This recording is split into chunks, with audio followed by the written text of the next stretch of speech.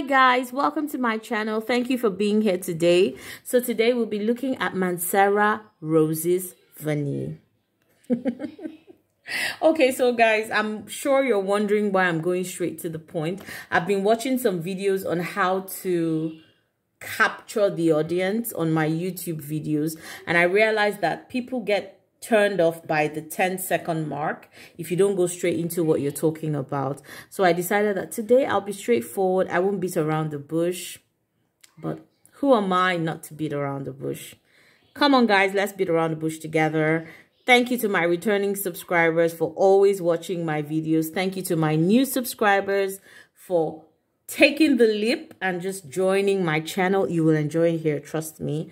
And thank you to those who are stumbling on my channel for the first time. I appreciate you and I hope you love it enough to stay with me here because this channel is very interesting. All right, guys. So today, like I said, we'll be looking at Mancera Roses Vanille.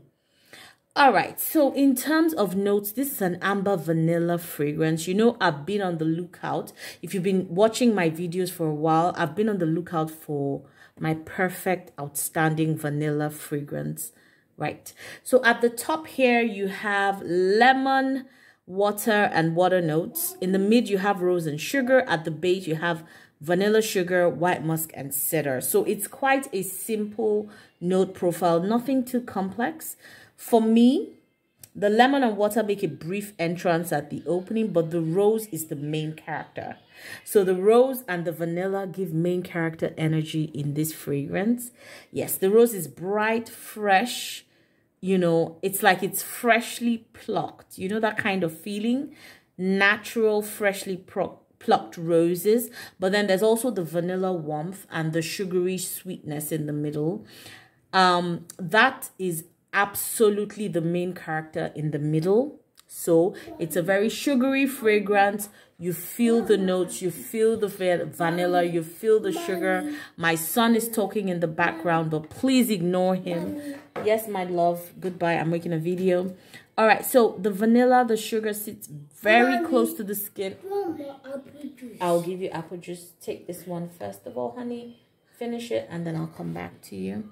All right, so the rose and the vanilla sit very close to the skin, but then at the same time, it makes for a fantastic combination. There's something that the vanilla does to me in this fragrance that I just can't describe. It is absolutely intoxicating. It stays on my skin the entire day.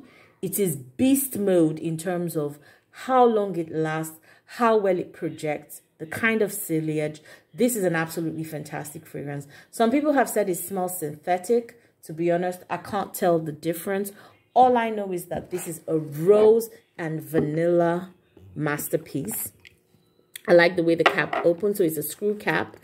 I like the way it sprays. It's got very good projection.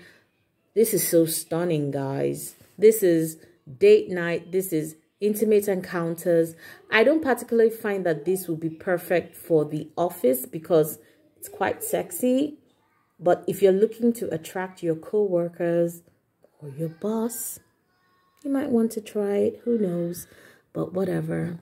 All I know is that this is a sweet, beautiful vanilla rose fragrance done right and I will buy this over and over and over and over and over again.